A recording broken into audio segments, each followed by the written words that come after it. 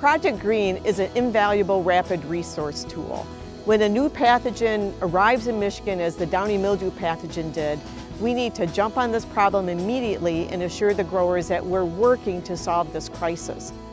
The rapid response that GREEEN offered us meant that we were able to go out into the grower community immediately, set up plant protectant fungicide trials, and get some responses to them right away so they could protect their crop. Further, we've used GREEEN very successfully to leverage national dollars through larger competitive grants.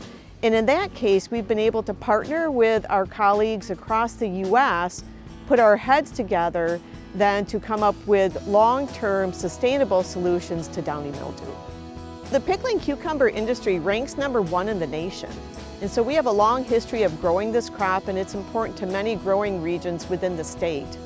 There was so little information available to us at the time that downy mildew became such a significant problem that our answers to growers would not have been as accurate and they wouldn't have been in real time.